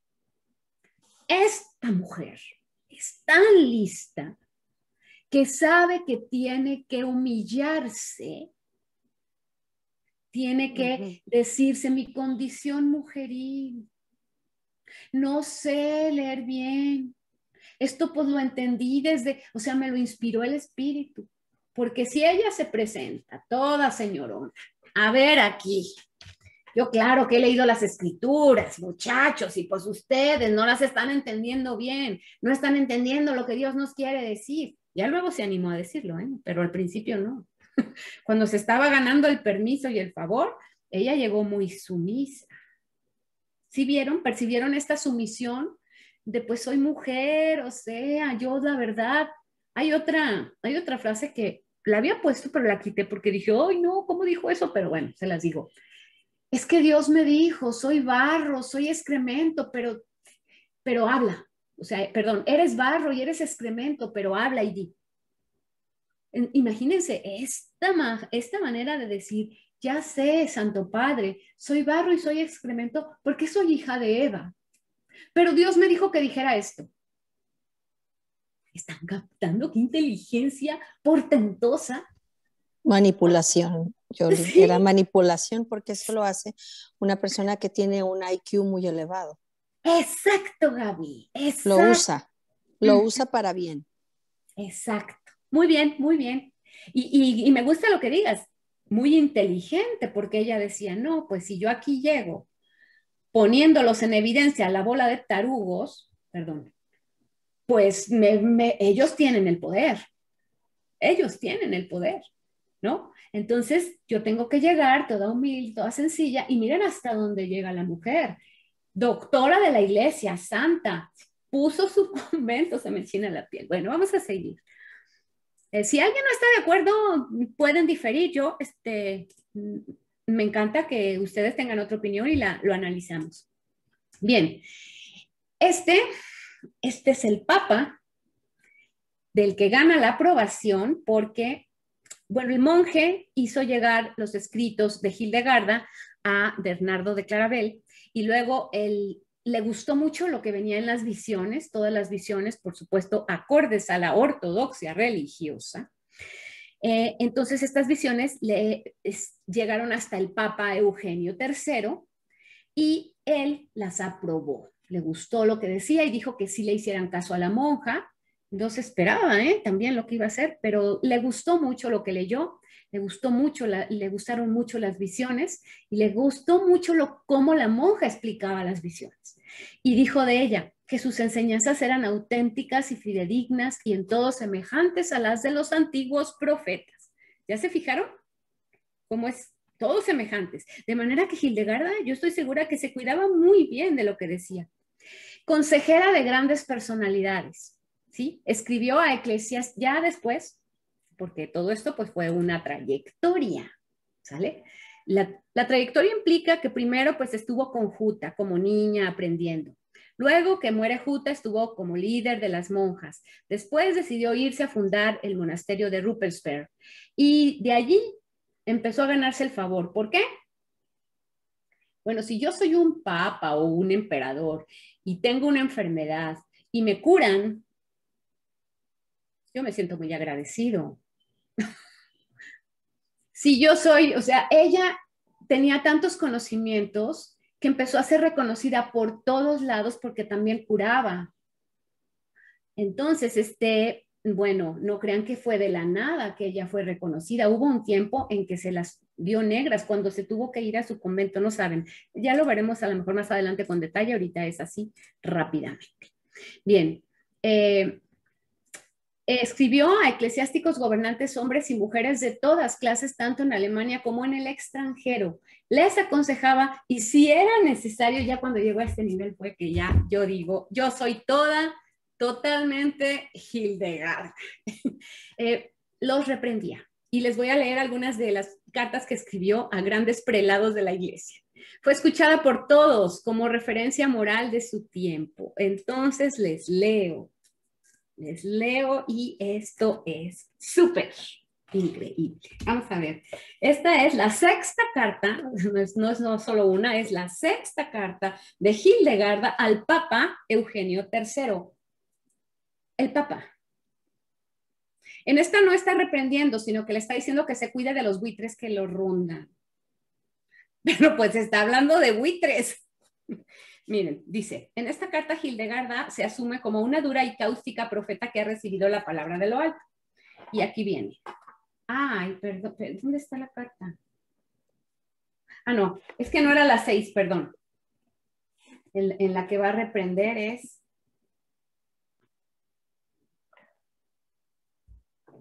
Ok, o estoy viendo Bueno, les leo. A lo mejor no parte bien. Por la... así ah, ya. Sí, por la estupidez de aquellos que están demasiado ciegos para ver. oigan, vuelvo a empezar la carta. Por la estupidez de aquellos que están demasiado ciegos para ver, sordos para escuchar y mudos para hablar, la venganza los llevará a su destrucción dejando caer la espada sobre ellos. O usted que está dividido en dos partes, esta es la, la carta, o usted que está dividido en dos partes. En la primera, su mente ha sido renovada en la mística, Flor. O sea, le dice, pues sí, usted es un místico, o sea, está muy bien. en la otra, es usted la rama principal de la iglesia. Híjole, si le dice que está dividido y que en una es un místico y en la otra es la rama principal de la iglesia, pues no sé cómo pueden estar divididas la mística y la iglesia, o qué está ella viendo como división. No destruya la vista del ojo ni apague la luz de la luz, o será responsable por el estado de esas almas puestas a su cuidado. No les permita hundirse en el lago de la perdición que representa el poder de los altos prelados. Una joya yace en el camino, un oso llega y al advertir su exquisitez, estira su pata para recogerla. Está diciendo que allá hay un montón de osos que quieren lanzar sus garras. Repentinamente un águila desciende y se la arrebata, la envuelve con sus alas y la lleva al palacio del rey. La joya brilla tan espléndidamente ante el monarca que él la oculta. Le da al águila unas zapatillas doradas y alaba su rectitud. Es una metáfora para decirle, pues quítele esto al oso, lléveselo y guárdelo, o sea, quítele lo que está el oso. Bueno, usted que se sienta en el trono de la iglesia, escoja la mejor parte, conviértase en el águila que se sobrepone al oso. De esta manera podrá adornar la iglesia con las almas que le fueron encargadas usted conseguirá entrar en regiones más altas con sus zapatillas doradas. Al Papa, una monja. Yo no tengo palabras. No tengo, no, tengo palabras. Y esta no es solo una carta, esta les dije que es la, sexta carta, pero el libro está lleno de cartas y hay otros a los que les dice no, no saben. Hay unas muy fuertes. Perdón que no les escogí una de las fuertes, pero ya las conoceremos. Hay un, eh, emperador, sí, al que le dice, casi, casi que es un ratero. Qué señora, ¿verdad? Vamos a ver cuánto alcanzo a darles hoy, porque ya llegamos al momento en el que quiero escucharlos más bien a ustedes. Bueno, predicaba. Esta es una imagen de ella, ¿eh? No es una imagen de la Virgen, es una imagen de ella. No sé si le ven su libro y su pluma. Predicaba, tenemos 58 homilías o sermones sobre fiestas litúrgicas o comentarios del Evangelio. Pues ya saben que ahora las mujeres no pueden ser sacerdotes, pero pues a ella le valía gorro que no pudieran ser sacerdotes porque creo que hacía lo mismo que los sacerdotes. Escribía homilías Escultura, esta escultura representa a Santa Hildegarda, en la iglesia, está en la iglesia parroquial que lleva su nombre, en Eibingen. Es de un artista desconocido. La obra incorpora bellamente los símbolos con que se le identifica, la cruz pectoral, la pluma y el libro. Y para los amantes del tarot tenemos, esta es la imagen de la sacerdotisa del tarot. Maestra, ¿qué pasó? ¿Por qué me mete esto aquí si estamos con Hildegarda? Jolie, ¿puedes regresarte tantito a la diapositiva anterior? Claro, claro. Ya, gracias. ¿Quieres que, de hecho, puedo, creo que, ¿qué quieres que le agrande? Porque aquí puedo agrandarle, mira, ¿qué quieres que le agrande? ¿Quieres que agrande algo? Vania. No, no, así está bien, ya, ya la vi, ya la vi bien. ¿Verdad que están en shock con esta mujer? Sí. es que es... Bueno. Ah, pues miren, esta es una de las cartas del tarot, es la de la sacerdotisa o la papisa o la suma sacerdotisa. Y yo no sé por qué, pero a mí me late que pudo haber sido inspirada o en, o en Hildegarda o en la papisa Juana, que esa parece ser una leyenda. La de la papisa, pues parece ser una leyenda, no tenemos mucha información, no sé si conocen esa leyenda. No sé si saben que por eso hay una silla papal con un agujerito para que los papas se sienten ¿Sí saben eso? Que hay que cuando se designa un papa, el papa se tiene que sentar en una silla con un agujerito abajo y tienen que meter la mano para checar que sea un hombre. Dicen que es porque hubo una papisa, entonces ahora tienen que checar. Les dio la cara y dijo,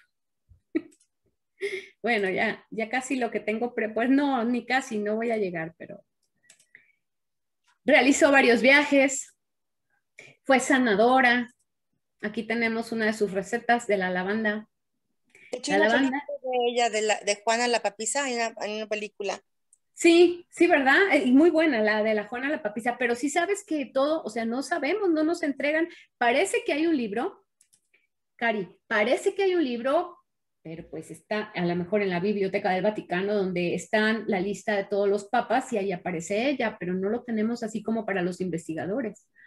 Bueno, de, hecho, yo cuando, cuando fui a Europa, una, bueno, mis papás me regalaron de viaje de, de 15 años a ir a Europa y cuando fuimos al Vaticano, y pues no, no fue la única vez que fui al Vaticano, porque pues sabes que yo viví allá un, ratito, entonces, este, una de las veces que fui al Vaticano, la única vez y primera vez que yo fui, me tocó un guía que me, que me habló de Juana.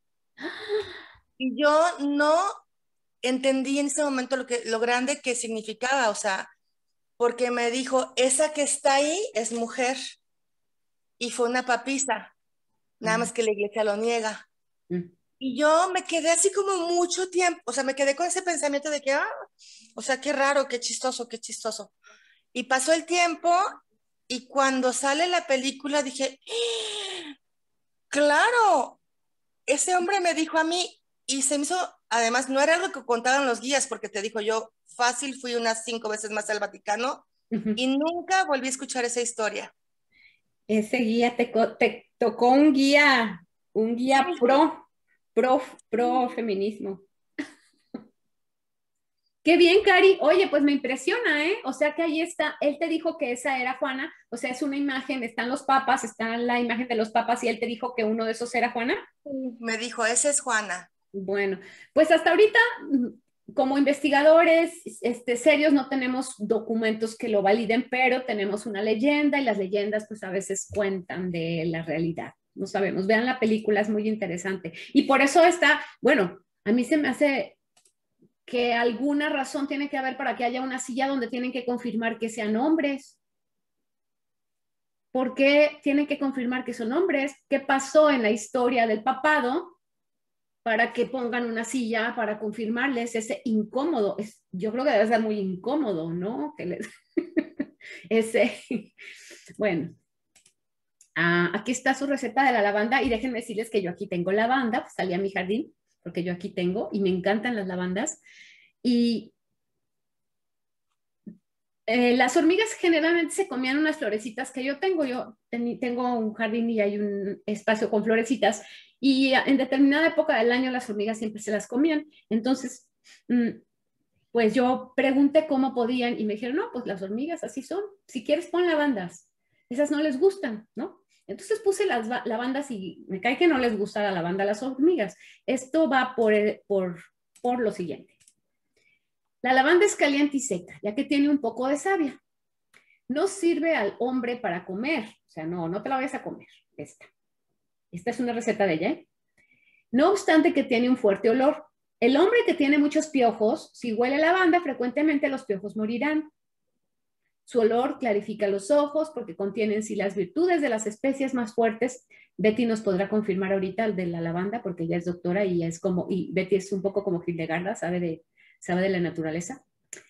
Eh, por eso también aleja muchísimas cosas malas y los espíritus malignos salen aterrorizados. Esta parte ya la tenía que poner ella, como para estar en, en concordancia con la iglesia. Los espíritus malignos se van, pero si se fijan, todo esto es ciencia pura. ¿Por qué si aleja los piojos? Pues yo digo que sí aleja los piojos porque aleja las hormigas, ¿no? Betty, ¿qué nos dices de esto? ¿Si está Betty o ya se salió? Ah, no la veo a Betty. Ya regresé. Ah, ¿qué pasó Betty de la dinos de la lavanda? ¿O no pues la lavanda es excelente para tranquilizar los nervios.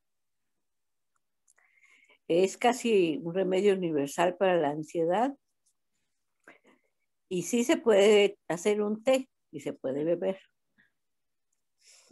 Entonces, la lavanda es así como, era un perfume de la gente rica, por supuesto. Mm. Y, y esa es, es, una de las cosechas muy productivas en cuestión de dinero. Mm.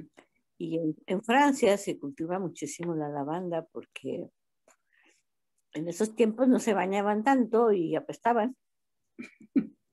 Entonces había que ponerse muchos perfumes. Y como no se bañaban, también tenía muchos piojos. De hecho, esa ropa con unos collares como, como unos olanes en el cuello era para atrapar los piojos. Y luego ya no los sacudían. la, la, ¿cómo se llama? El cuello de lechuguilla. Sí. Esos cuellos eran para que los piojos no cayeran al cuerpo, sino al, como eran blancos, se veían fácil, y a los sacudían y pues iban los piojos al piso. ¿Ven? Entonces, pues bueno, ahí tenemos. Vamos a ver más cosas y seguramente Betty nos va en otra sesión vamos a ver concentradamente muchas de sus recetas, porque algunas recetas traen metáforas, es decir, son recetas en lo literal, pero también son metáforas. Por ejemplo, hay unas recetas donde dice que te comas, este, que te, dice que te comas perlas para que digas cosas hermosas. Entonces, esa es una metáfora, ¿no? Pero bueno, ya la veremos en otro momento. Quiero solamente llegar a un punto donde pienso cerrar. Fue compositora, ya escucharon, les, les mandaron. Aquí están sus composiciones. Fue justiciera, ya les conté lo de, ya les conté lo del chico este que querían desenterrar. Esta escultura de Hildegarda, de Bingen, este, es preciosa. ¿sí? Ahí les puse de el artista, esta sí se sabe de quién es, y me parece que es una estatua preciosa. Me parece que aquí el artista logró representar el poder de esta mujer, miren su mirada, sus ojos cerrados, porque por eso dice que sus visiones no las tiene con los ojos, ahí está en visión, está viendo, ¿sí? Y escritora, por supuesto, nosotros vamos a ver varias de sus obras. Me voy a pasar rápido esto porque quiero llegar esto. Eh, aquí quiero cerrar. ¿A qué no saben? Todo esto que les he dicho, todo esto que fue ella, con una frágil salud. Ella tenía una salud muy frágil, caía enferma muchas veces. En algunas ocasiones, sus enfermedades, yo pienso que ahora con, eh, bueno, con tantas investigaciones de cómo nosotros nos generamos enfermedades por, porque algo en la vida queremos hacer y no hacemos o, o no queremos hacer y hacemos. Es decir, que nosotros utilizamos a veces la enfermedad para, nuestro cuerpo la utiliza para decirnos algo. A veces cuando una de las, de las ocasiones en las que no le querían hacer caso, se enfermó tanto, tanto, tanto, hasta que la dejaron, ah, fue cuando no la dejaban irse al monasterio, a, su monasterio, cuando ella ya se quería ir de ahí llevarse a las monjas, cuando se quería ir del monasterio este, mixto, se enfermó, se enfermó y como era muy importante, pues dijo, pues nada, estoy enferma porque no quieren que haga lo que eh, la voluntad de Dios. Entonces Dios me, me tiene así porque ustedes no me dejan partir. En cuanto le dijeron que sí, en cuanto la dejaron partir, se puso bien. se puso bien, se curó en cuanto le dijeron, ya pues vete a tu monasterio, ándale, va a estar bien difícil. Y luego algunas monjas se regresaron, ¿eh? porque la vida ahí fue muy difícil, pero otras se quedaron. Entonces, imagínense, me encanta eso, bien enferma, bien enferma, bien enferma, porque no la dejaban irse a su monasterio, a tener su habitación propia. Y entonces, pues nada, cuando la dejan irse se enferma. Perdón, se cura. Ya, hasta aquí. Hasta aquí llegamos para que comenten ustedes. Hay mucho más, mucho más, mucho más. Pero creo que con esta clase pude eh, evidenciarles que estamos ante un portento. ¿Comentarios? ¿Preguntas? Hay que comprarse un libro. sí, mira, el que recomendé, Betty, creo que el que recomiendo mucho, mucho, mucho, por, por precio y por contenido es este. Por precio y por contenido. ¿Cuánto te costó, Angelín? ¿No te costó? No, cuesta como... No, en Amazon me costó como 650 o 700. Ah, no, pues... Pero está maravilloso, a mí no se me hizo caro. No, no, pero pensé que era más... Sí. Más barato, no sé, no sé si en el fondo de cultura, porque yo pregunté aquí en el fondo y no había, pero este, en Amazon esto me costó con el envío como 650. Yo lo compré en el fondo y me debe haber costado como casi 300, hace muchísimo, ¿eh? Sí, pero ya no hay. Yo lo compré hace ah. como dos meses, pues. Ok, pues sí. Sí, sí, yo te puedo prestar cuando regreses, Betty. Te puedo prestar. Y eso casi no lo hago ya. Ya casi no presto mis libros, pero a ti te lo presto. ¿Cómo se llama, Yoli, completo ese libro? Pues este, se llama El lenguaje secreto de Hildegarda von Fingen. Luego también inventó una lengua, ¿eh? también inventó una lengua. Hombre, este se llama El lenguaje secreto de Hildegarda von Fingen, vida y obra. Y es de, Lo escribe Verónica Martínez Lira y Alejandra Reta Lira. Mm, dos mujeres. ¿Más preguntas? Ya estamos en, ya estamos en nuestro final de. Así es que ahorita es cuando. Acá dicen, dicen excelente clase. Gracias, Antonio. Qué bueno que te gustó, Antonio. ¿Sí? Y cuando conozcamos sus visiones, prepárense, porque vamos a estar en shock de las visiones que tenía. Es que hoy no hablé de las visiones. ¿Se, ¿Se, fijan que nada más les dije que tenía visiones? Nunca nadie se preguntó qué veía. Pues lo que veía es muy impresionante. De hecho, algunas de ustedes estuvieron en el taller de fundamentos del ciclo pasado y se las presenté y una de las visiones que ella tenía, les presenté la forma del ojo y la visión que ella tuvo. Y era como si estuviera viendo el ojo por dentro, no sé si se acuerdan. Bueno, pues más cosas, más cosas. Hasta la siguiente semana. Hasta la siguiente semana. Si no hay preguntas, ah, Jazz, tienes una pregunta, adelante. Em, pues yo no tengo preguntas, más bien, este, creo que yo estoy impresionada, porque sí fue una mujer con mucho carácter, yo creo, y efectivamente muy inteligente. Entonces lo comparé como con el contexto actual que vivimos, el que llamamos feminismo, y creo que más bien debería de adoptarse ese tipo de inteligencia. O sea, ella para poder meterse con los obispos se hizo la sumisa, o sea, los, los manipuló, como bien lo comentaban, y logró su objetivo. Y creo que, es lo que eh, se debería de hacer más bien como, como mujer. Creo que en su mayoría somos bastante inteligentes, somos bastante inspiradoras y este y creo que más bien es, o se debería llevar por ahí el, el, ser una persona feminista, una mujer feminista, porque la parte de la agresión pues ya se vio que no funciona, ¿no? Y ella hizo lo que pudo, eh, logró sus objetivos, pero, o sea, ¿a qué nivel eh, manipuló, ¿no? A los hombres o a los jerarcas para lograr lo que ella quería siempre, ¿no? Y es que la palabra manipular como que la tenemos satanizada, pero yo me acuerdo, mi, padre que en paz descanse, que él decía, si, si manipulo es como por su bien, o sea, cuando, cuando hacía algunos, algunas en la casa que organizaba algo, era como por su bien, entonces nos decía, nos decía eso por su bien. Y nosotros no entendíamos, decía, no, no, no nos gusta que nos manipules, no nos gusta que nos manipules, porque sientes que manipular es que te hacen hacer algo. pero, pero la parte de la manipulación en la que, por ejemplo, una madre a su hijo ve la manera de hacer que se ponga el suéter por su bien, ¿no?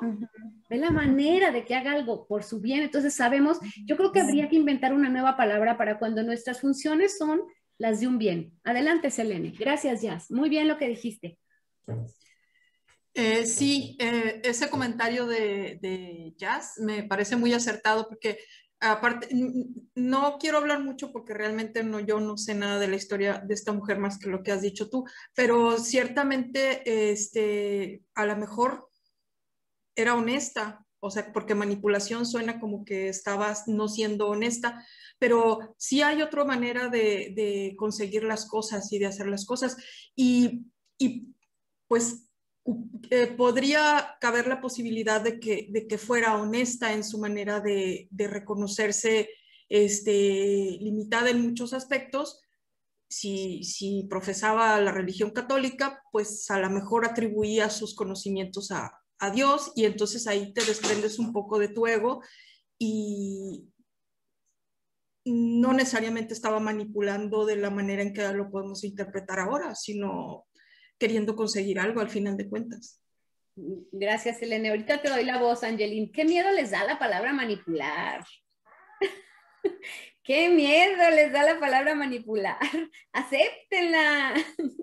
A ver, adelante Angelín y luego Gaby y luego Cari leemos su comentario. Adelante. Fíjate que a mí, desde que dijiste lo que ella dijo, o sea, no se me hace como un acto de humillación, sino un acto de humildad, de reconocer como la parte en ese tiempo, bueno, como reconocer que la parte femenina era como débil, entre comillas, de, porque no era debilidad, sino decir, bueno, esto es como, así nos reconocen, pues así aceptamos ser reconocidas.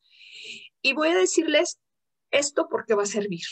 Y no era tanto como manipular, yo creo era con toda, como con una inteligencia sobresaliente, decir, ¿cómo les puedo llegar a estos? Para que entiendan desde dónde estoy en este mundo de hombres y puedo llegar a hacer otras cosas diferentes, como cambiar la visión y la, y la manera de ver la vida. O sea, y no porque te voy a manipular, sino porque tú también eres inteligente, lo vas a entender. Yo también soy inteligente. A mí desde esa perspectiva lo veo. Y no por el miedo a la palabra, sino pues, porque es un reconocimiento a ambas inteligencias, ¿no?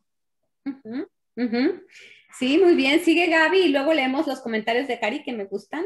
A ver, Gaby, adelante. Gracias. Pues mira, yo, yo creo que en, en un ámbito tan, tan machista, en una época tan difícil, en donde no tenía ella los medios para, para salir adelante, no tenía, bueno, el dinero era importante, pero más que nada todas las, las, las Ah, deficiencias o todas las, las limitaciones que ella tenía por la época, por ser mujer, por ser una niña pues eh, solita, porque aparentemente pues la, la, educa una mujer también muy fuerte, pero, pero eso no quiere decir que ella tiene un clan detrás de ella apoyando, la verdad. Entonces yo me imagino que, que haces uso de lo que sea, de lo que sea para lograr tus objetivos. Y si tienes que hacer el uso de la manipulación para lograr algo eh, en, bien de, un propósito, pues muy válido. Yo soy una mujer de negocios, tú sabes que yo soy una empresaria y muchas veces me encuentro sentada en, en, un clan masculino en esta época, en este siglo, en donde simplemente por ser mexicana, morena y mujer, ya, tengo un estigma. Entonces, a veces tienes que llegar con toda tu inteligencia y con toda tu, tu, pues, tus armas que puedas tener, ¿verdad? Y no precisamente estar eh, enseñando un escote, sino que te, tienes, tienes muchas limitaciones, porque ya enseñar un escote te demerita, ¿verdad? Te, te hace menos importante o menos inteligente. Eso es lo que quería compartirles. Me encantó. No, me fascinó. Exacto. Gracias. Sí, muy bien. Que es, ya me, ya me gusta porque fíjense cómo les hizo ruido la palabra manipular, pero ya están empezando a entender. A ver, yo voy a manipular esta taza. ¿Por qué, por qué la dotan de esa connotación negativa? ¿Verdad? Bien, dice acá Cari, dice, ah, me gusta mucho. Primero, primero propone la palabra estratégica, y acepta que manipular le asusta. Me gusta que acepten. En este taller el chiste es analizar las palabras, aceptar que una palabra eh, a alguien le puede asustar, a alguien puede decir, no, yo la entiendo y la uso. Eh, luego Cari dice, fíjense, después de decir que, ah, la que dice que le asusta es Cintia. Eh, pero luego Cari me gusta lo que dice. No, no, no escribió, no escribió, no me asusta. A mí manipular no me asusta. Ah, es que, es que te faltó la, N. Ah, perfecto, Cintia. Dice que manipular no le asusta. No me asusta, pero la palabra estrategia, estratégica, me parece pertinente. Ah, muy bien. Me parece buena. Sí, también. Eh, luego, Cari, me gusta mucho porque Cari cambia Cari había dicho que no le gustaba, ¿verdad, Cari? Y dice, a lo mejor necesitamos abrazar la palabra desde otra perspectiva y romper ese paradigma, ¿sí? Luego Antonio, muy bien, mira, Antonio ya lanza este, esta, esta frase suena evangélica, seréis manipulados y seréis manipuladores. pues sí, todos somos manipulados. Es, Vania dice, manipulación se refiere a un amplio rango de tácticas psicológicas capaces de subvertir el control de un individuo sobre su propio pensamiento. Eh, está, está fuerte. Comportamiento, emociones o decisiones. Esta aquí, esta sí sería la, parte de la palabra nefasta, porque sería como dejar al otro sin defensa, ¿no? Pero bueno, pues allí. ¿Eh? Me recuerda en alguna ocasión, en algún momento, en un, en un temazcal al que fui, eh, el que dirigía el temazcal era un hombre y en ese momento dijo que las mujeres mantenían, que su mujer lo mantenía, ¿no? Del, comentó y que quería explicar lo que era mantener su hogar. Y entonces, cuando hablaban de mantener, pues hablaban de dos maneras de mantener, ¿no?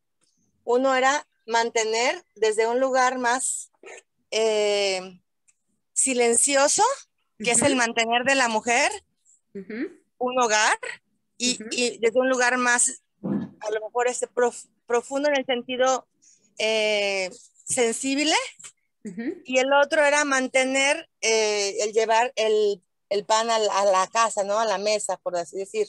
Entonces, estamos viendo, a lo mejor pues, tendremos que entrar más en profundidad de lo que significa la palabra eh, manipular. Claro. Que viene de, las manos, ¿no?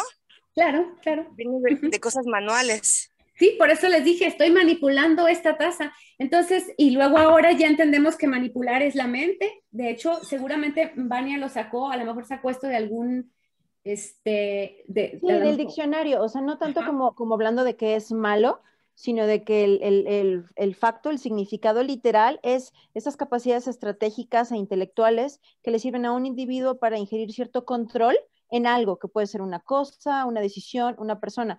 Incluso un maestro, cuando da una clase, cuando imparte un conocimiento, cuando enseña una manera de sumar o de restar, podríamos entonces satanizar la palabra y decir que manipula al alumno para que sume, quitando aquí, por prestándole al de la izquierda, poniéndole uno arriba, y no es otra cosa más que un conjunto de estrategias que pretenden un resultado en algo, que puede ser una persona, una situación o una cosa.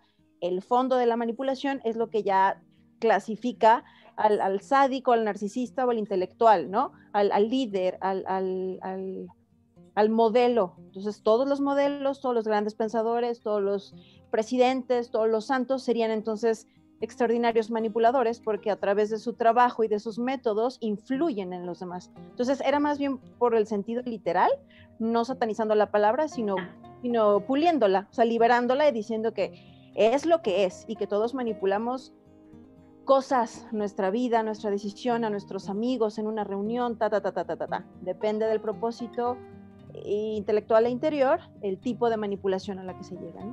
Yo, estoy más a favor de como lo, como lo pones tú, Yoli, o sea, calma todos, todos manipulamos, todos, todos hacemos el uso de nuestra inteligencia y nuestra estrategia para conseguir tal o cual cosa. Brillante. Bueno, han tenido participaciones brillantes. Eh, siempre que doy estas clases termino yo que digo, wow, gracias. Gracias primero porque me dejaron compartir algo que amo. Yo amo esto y, y me dejaron compartirlo porque, para que no se quede adentro. Y segundo, gracias por sus participaciones, sus opiniones. Eh, ¿Jazz, tenías otro comentario o no habías dejado la mano? Ok. No quiero que alguien que quisiera comentar, este es el momento, hable ahora o calle para, o calle hasta la próxima semana. este, si no, si no hay más, pues nos despedimos. Mandaré algunas ligas prometidas durante la sesión para que den seguimiento. Bienvenidos todos los que, los que están en Tritemios por primera vez. Gaby, qué gusto tenerte por acá. Bienvenida. Y eh, Pau ya, se, ya ah, no, Pau por acá está. Bienvenida Pau, bienvenida Jazz, que por primera vez están en talleres. Y los demás, pues ya sabemos que por acá tienen rato con nosotros. Un abrazo. Bye. Gracias, lindo día. Igualmente, bye.